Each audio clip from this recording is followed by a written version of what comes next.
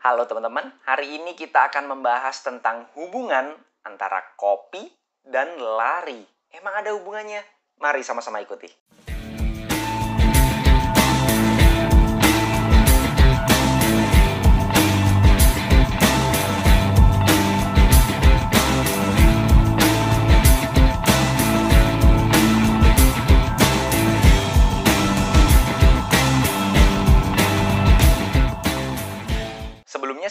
Tahu terlebih dahulu bahwa saya ini bukan atlet, saya juga bukan pelatih, dan saya juga bukan ahli gizi. Jadi apa pun yang saya sebutkan di video ini adalah murni pendapat pribadi saya sebagai pelari jelata.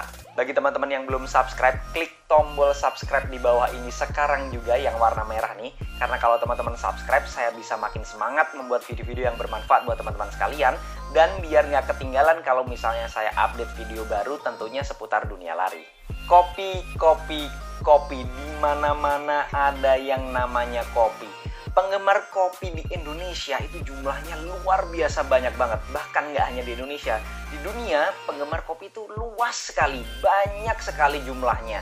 Jadi kalau teman-teman perhatikan kopi itu memang menjadi salah satu primadona atau minuman yang benar-benar disukai karena faktanya kopi itu menjadi salah satu minuman yang membudaya dan meluas di seluruh Indonesia. Kalau teman-teman perhatikan banyak banget daerah-daerah yang mempunyai kopi khasnya masing-masing kayak kopi Gayo Aceh, kemudian ada kopi Toraja, dan banyak banget daerah-daerah lain yang mempunyai kopi khasnya masing-masing. Tapi kali ini kita nggak akan cuman ngebahas masalah kopinya aja nih, tapi hubungannya sama lari. Emang ada ya hubungannya kafein dengan performa lari kita? Nah, karena penggemar kopi di dunia ini banyak banget, jadi para peneliti nggak sedikit yang meluangkan waktunya untuk meneliti manfaat kopi untuk kehidupan kita sehari-hari, terutama untuk lari. Apakah kopi itu benar-benar aman dan juga ada manfaatnya apabila kita gunakan untuk membantu performa lari kita? kalian pasti tahu nih kalau misalnya kopi itu mengandung yang namanya kafein. Nah, kafein inilah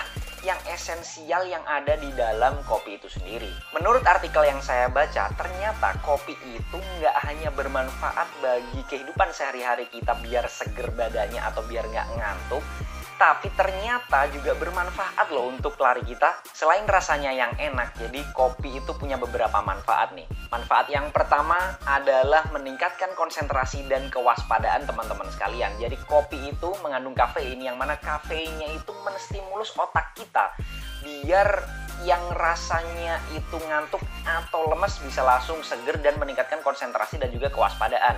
Nah, ini sangat berfungsi banget pada saat teman-teman merasa body baterainya itu udah low banget, drop banget atau kalau misalnya juga baru bangun.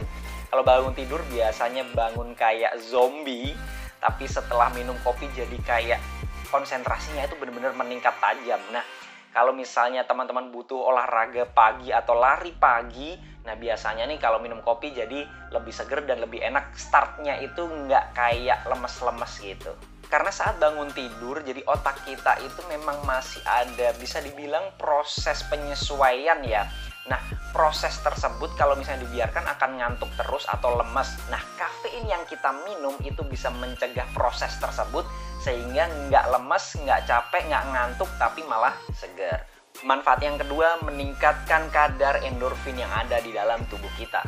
Kafein yang terkandung di dalam kopi itu menjadikan konsentrasi endorfin yang ada di dalam otak kita itu bertambah. Dan setelah itu, dopamin akhirnya diproduksi tuh lebih banyak dibandingkan dengan biasanya. Dopamin itu apa? Nah, dopamin adalah zat yang identik dengan rasa happy, rasa senang gitu ya. Jadi kalau misalnya dopamin kita lebih banyak dibandingkan biasanya, kita juga moodnya akhirnya menjadi bagus, happy gitu ya. Dan akhirnya lari kita itu juga bisa lebih ekstra, bisa lebih jauh, bisa juga lebih kenceng. Yang ketiga adalah meningkatkan kemampuan membakar lemak. Beneran nggak tuh? Kita bisa mengurangi lemak tubuh kita itu dengan menjadikan lemak tubuh sebagai bahan bakar saat kita olahraga. Nah, kafein itu bisa menjaga kadar glikogen di tubuh kita, di dalam tubuh kita, biar metabolismenya itu meningkat. Manfaat yang keempat adalah meningkatkan power lari kita. Jadi menurut artikel yang saya baca, bahwa kafein itu bisa nge-push atau mendorong performa lari kita menjadi lebih uh, jauh, mampu berlari lebih jauh dan juga lari lebih kencang.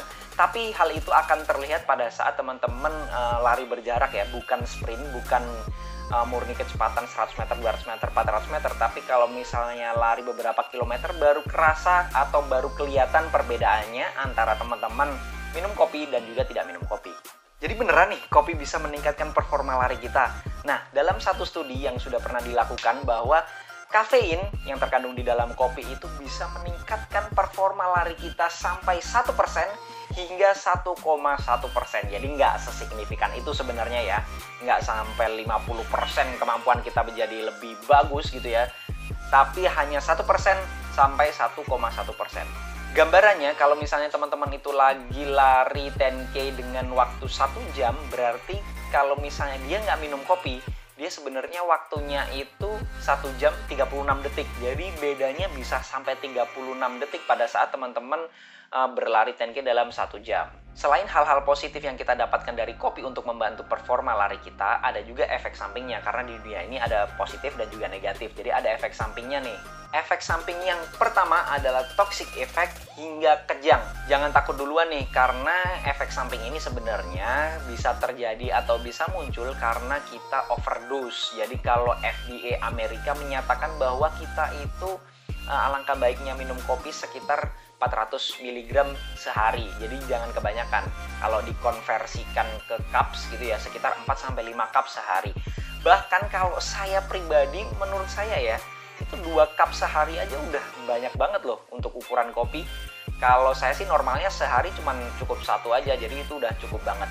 Kalau misalnya sampai mengkonsumsi 1200 mg sehari, nah ya itu tadi yang bisa terjadi adalah uh, toxic effect jadi ada berbagai macam efek uh, yang toxic gitu ya.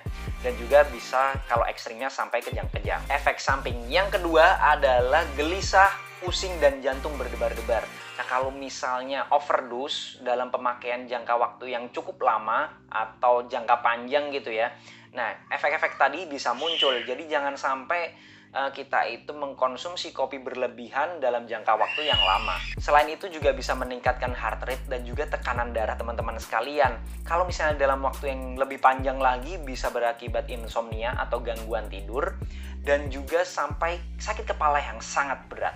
Yang ketiga adalah gangguan pencernaan. Saya rasa nggak sedikit sih orang yang merasa bahwa kopi itu bisa menjadikan kita kayak mules. Jadi kayak ada gangguan lah di perut kita pokoknya kalau misalnya lambung teman-teman nggak cocok dengan kafein ini bakal sering banget muncul. Itu adalah beberapa efek samping dari kalau kita minum kopi, tapi tenang aja bahwa kebanyakan efek samping yang muncul itu karena kita memang overdose atau kebanyakan uh, minum kopi. Jadi ya kita minum kopi secukupnya aja karena apabila seluruhnya yang berlebihan itu memang nggak ada yang baik sih. Sebenarnya yang esensial dari kopi itu adalah kafeinnya.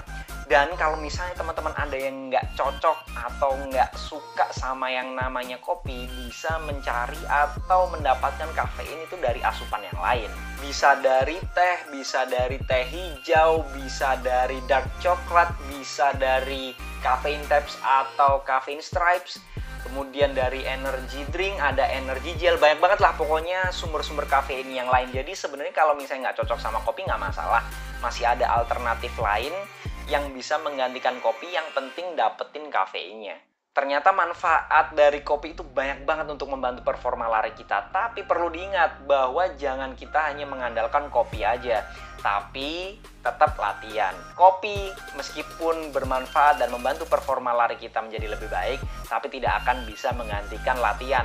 Jadi jangan sampai berasumsi bahwa saya nggak perlu latihan, saya nggak usah capek-capek, saya cukup minum kopi lari saya akan jadi jauh lebih kencang, lebih kuat. Itu persepsi yang sangat salah. Jadi harus diwaspadai, tetap latihan, latihan, latihan, latihan.